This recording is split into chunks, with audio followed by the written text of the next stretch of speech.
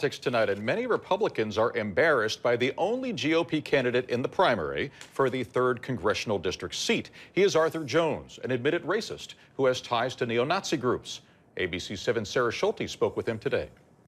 He won't give up. For the seventh time, Arthur Jones is running as a Republican in Illinois' 3rd Congressional District.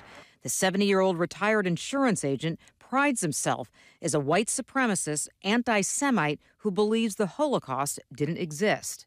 It's just an extortion racket. Billions of dollars are extorted by Jews telling tall tales of woe and misfortune. Jones' website includes pictures of him at several neo Nazi rallies. His outspoken views on Mexicans, Africans, and gays are clearly spelled out. In the 3rd District, Jones is the only Republican on the ballot for the March primary, which poses a problem for the Illinois Republican Party. At this point, we just want to let everybody know we're disavowing this disturbed Nazi individual who's running as a Republican who clearly has no place in our party or in our country. I served in the Vietnam War. What have you done, Mr. Schneider?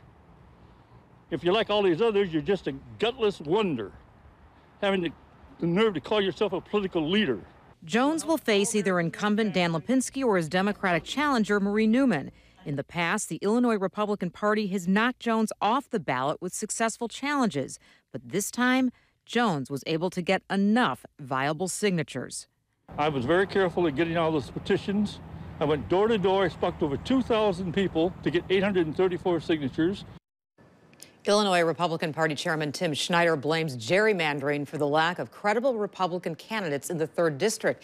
He says the district is so Democratic, it's difficult to find Republicans who want to run. And gerrymandering is obviously a problem nationwide, not just in Illinois.